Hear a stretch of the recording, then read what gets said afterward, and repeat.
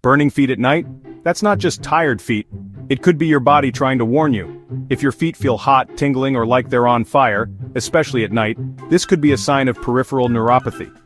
Common in people with diabetes, neuropathy happens when high blood sugar damages the nerves, and the feet are usually hit first.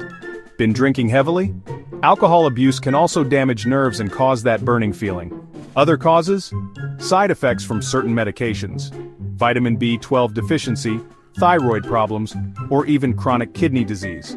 If the burning is paired with numbness, tingling, or weakness, don't ignore it. Your nerves are trying to get your attention.